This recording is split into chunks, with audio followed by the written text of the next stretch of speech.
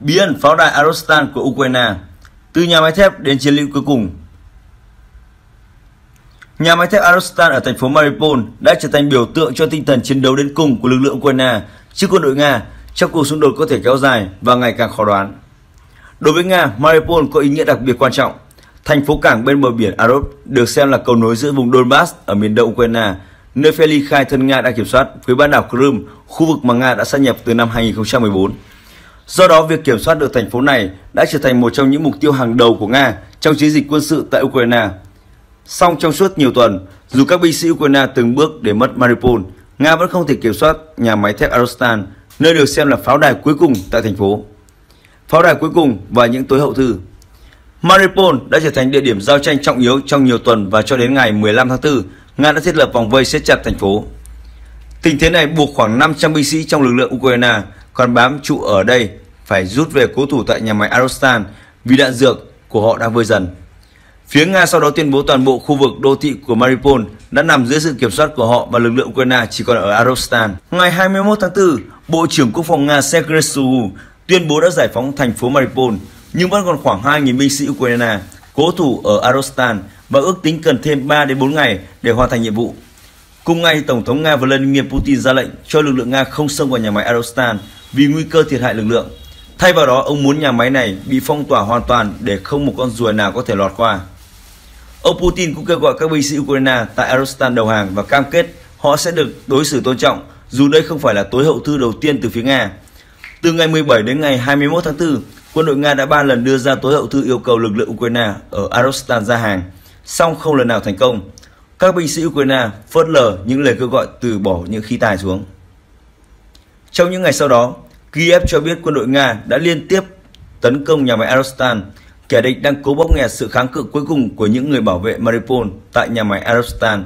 Một cố vấn của Tổng thống Ukraine Volodymyr Zelensky nói, trong đêm ngày 27 đến ngày 28 tháng 4, các máy bay Tu-22M3, Su-25 và Su-24 của Nga đã thực hiện 50 đợt tấn công vào nhà máy theo phía Ukraine, dù những tuyên bố này không thể được xác thực một cách độc lập. Nỗ lực sơ tán dân thường theo Metivest, tập đoàn sở hữu Arostan, hệ thống đường hầm và công sự của nhà máy này được thiết kế để vận chuyển thiết bị giữa các tòa nhà, không dùng cho mục đích quân sự. Song các công nhân đã bắt đầu trú ẩn ở các tầng hầm của nhà máy từ năm 2014 khi lực lượng ly khai ở miền đông Ukraine cố gắng chiếm Mariupol. Hơn 2.000 thường dân đã ẩn náu ở nhà máy kể từ những ngày đầu chiến sự và nhiều người trong số họ là người nhà của nhân viên. Đến ngày 18 tháng 4, Hội đồng thành phố Mariupol ước tính không dưới 1.000 dân thường đang mắc kẹt tại đây. Ukraine đã liên tục tố cáo Nga cản trở nỗ lực sơ tán trong khi Moscow cáo buộc Kiev cố tình trì hoãn việc này vì tính toán riêng. Ngày 30 tháng 4, Liên Hiệp Quốc và Ủy ban chữ thập đỏ quốc tế bắt đầu sơ tán người ở Arostan thông qua các hành lang nhân đạo sau nhiều nỗ lực đàm phán. Hành lang nhân đạo này được thiết lập sau chuyến thăm Moscow của Tổng thư ký Liên Hợp Quốc Antonio Guterres vào tuần trước đó. 20 dân thường Ukraine đầu tiên đã rời nhà máy trong ngày, dù phía Nga nói là 25. Các cuộc đàm phán vẫn tiếp tục diễn ra để có thể sơ tán toàn bộ người dân. Vào ngày 2 tháng 5, hành lang nhân đạo đã đưa được khoảng 100 dân thường rời khỏi nhà máy Arostan, trong khi lực lượng Nga được cho là rút dần khỏi Mariupol. Song sang ngày 3 tháng 5, Ukraine nói quân đội Nga đã tiến vào khu vực bên trong nhà máy sau các đợt tấn công mới. Dù vậy, quá trình sơ tán vẫn diễn ra với 300 người ngày 5 tháng 5 và 500 người ngày 6 tháng 5. Đến ngày 8 tháng 5, cả Nga và Ukraine cùng tuyên bố việc sơ tán dân thường ở Arostan đã hoàn tất, với 40 người cuối cùng được đưa đến khu vực Zaporizhia do Ukraine kiểm soát. Chính quyền Mariupol cũng cho biết là ba binh sĩ Ukraine đã bị loại khỏi vòng chiến đấu và 6 người khác bị thương trong quá trình này. Đoàn xe nhân đạo là khoảnh khắc thay đổi cuộc đời và là sự cứu rỗi lớn lao đối với những người vốn đã phải chịu đựng những nỗi kinh hoàng của cuộc chiến cận kề trong quá nhiều tuần. Họ đã phải chịu đựng sự kinh hoàng mà không một con người nào phải trải qua. Ông Pascal Hun, trưởng phái đoàn Ủy ban chữ thập đỏ quốc tế Ukraine nói. Tương lai nào cho Arostan? Tuy nhiên, các binh sĩ Ukraine còn ở Arostan thề sẽ không rời khỏi đây, chừng nào chúng tôi còn sống để đánh đuổi quân Nga.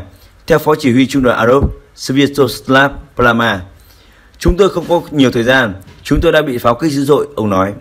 Tổng thống Zelensky cam kết sẽ tiếp tục các nỗ lực cực kỳ khó khăn nhưng quan trọng để sơ tán toàn bộ những ai còn ở lại nhà máy Azovstal trong giai đoạn 2 của nhiệm vụ này. Theo Phó Thủ tướng Ukraine Irina Vereshchuk, Kiev đang kêu gọi tất cả các tổ chức quốc tế gây áp lực lên Nga để có thể sơ tán người bị thương nặng, lực lượng quân y và lực lượng phi chiến đấu, theo Công ước Geneva. Phải có các thỏa thuận và đảm bảo rằng Nga không nổ súng, bà Vreshchak nói. Chúng tôi cần những lời đảm bảo bằng sắt đá bằng văn bản. Đó là những gì chúng tôi đang làm việc để có được ngay lúc này. Bà cũng cho biết Thổ Nhĩ Kỳ đã sẵn sàng hỗ trợ việc sơ tán bằng đường biển từ Arostan. Và quá trình này có thể mất khoảng một tuần. Phó Thủ tướng Nga Maras Kunuslin thông báo rằng ông đã đến thăm Mariupol cũng như một số thành phố khác của Ukraine trong ngày 8 tháng 5. Ông Kusnulin là quan chức cấp cao nhất của Nga đặt chân đến Ukraine kể từ khi chiến sự nổ ra. Trong chuyến thăm, ông nói quá trình khôi phục cuộc sống bình yên đã bắt đầu ở các khu vực này. Trong khi đó, ông Denis Pusilin, lãnh đạo lực lượng Cộng hòa Nhân dân Donetsk tự xưng, mới đây nói rằng ông có kế hoạch biến Mariupol thành một thị trấn nghỉ dưỡng, theo hãng thông tấn TASS.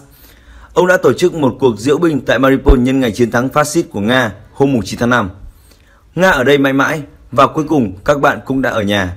Nếu Azerbaijan không được khôi phục thì chúng tôi sẽ biến Mariupol thành một thị trấn nghỉ dưỡng, ông Pusilin nói và cho biết thêm rằng nhà máy thép ảnh hưởng tiêu cực đến hệ sinh thái của thành phố và vùng nước ven biển. Theo ước tính của Ukraine, khoảng 1.000 binh sĩ của họ vẫn đang cố thủ ở nhà máy. Một chỉ huy khác của lực lượng tại đây hôm 8 tháng 5 nói, lúc này họ chỉ có thể hy vọng vào một phép màu. Đau đớn, dày vò, đói khát, khốn khổ, nước mắt, sợ hãi. Tất cả đều là thật ở Arustan.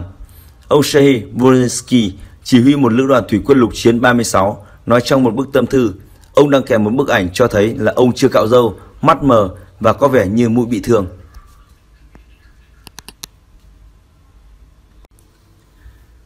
Ukraine cảnh báo thủy lôi gần bờ biển Odessa. Giới chức Ukraine đã đưa ra cảnh báo về thủy lôi gần bờ biển thành phố cảng Odessa. Hội đồng thành phố Odessa, Ukraine đưa ra lời cảnh báo với công dân về sự xuất hiện của các thủy lôi nổi ngay gần một trong những bờ biển của thành phố.